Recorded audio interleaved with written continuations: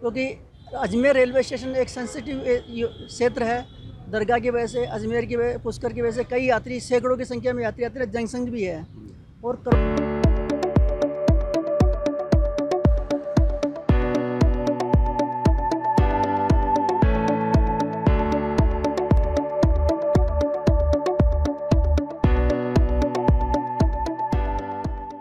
Ajmer railway station पे 11 साल की बालिका के साथ में जो हैवानियत हुई है इस प्रकरण को लेकर मैंने मान, राष्ट्रीय मानवाधिकार आयोग के राष्ट्रीय अध्यक्ष न्यायमूर्ति अरुण कुमार जी मिश्रा हैं उनको ईमेल किया और उनसे मांग की कि इस मामले को उच्च स्तर से गंभीरता से लें क्योंकि तो अजमेर रेलवे स्टेशन एक सेंसिटिव क्षेत्र है।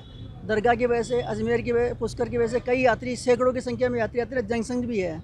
और करोड़ों की संख्या में, करोड़ों की सैकड़ों में यहाँ पर स्टेशन पे कैमरे भी लगे हुए हैं। तो कैमरे क्यों बंद हैं? किस प्रकार बंद हैं? इसके कौन अधिकारी है? क्या है? इसकी कार्रवाई की मांग भी की, जाँच भी की है। और डीआरएम साहब जो राजीव धनखड़ जी है, उनसे भी मैंने पत्र लिख के जवाब तलब किया है कि आपके जब इतना पैसा गवर्नमेंट खर्च कर रही है रेलवे सरकार खर्च कर रही है तो वो कैमरे क्यों बंद हैं? जिम्मेदार अधिकारी क्यों हैं? और अगर भविष्य में ये पूर्णावती न हो रुकी जाए इसके लिए क्या कार्रवाई की जाए तो इसी मामले में को जवाब तलब किया अगर उस बच्चे को न्याय नहीं मिलता तो आगे क्या रहेगा न्याय नहीं मिलता न्याय तो मिल के रहेगा प्रशासन वगैरह काम कर ही रहे हैं हाँ। और न्याय का मतलब है कि जैसे प्रशासन से ये भी मांग करे कि उस, गरीब परिवार को कुछ ना कुछ सहायता मिल जाए। अभी वैसे रेलवे प्रशासन ने उनको कमरा वमरा दे रखा उसके परिवार को दे रखा और अस्पताल में बच्चे का इलाज चल रहा है।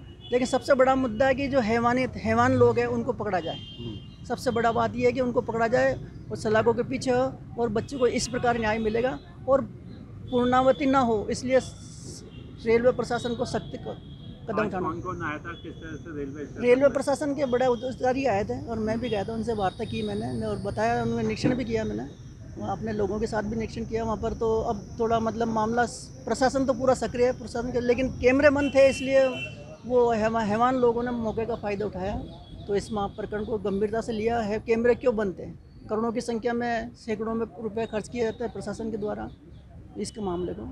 अगर कैमरे चालू होते हैं तो वो सामने दिख जाता है मामले। आपका नाम? बाबूलाल साहू राष्ट्रीय अध्यक्ष भारतीय पब्लिक लेबर पार्टी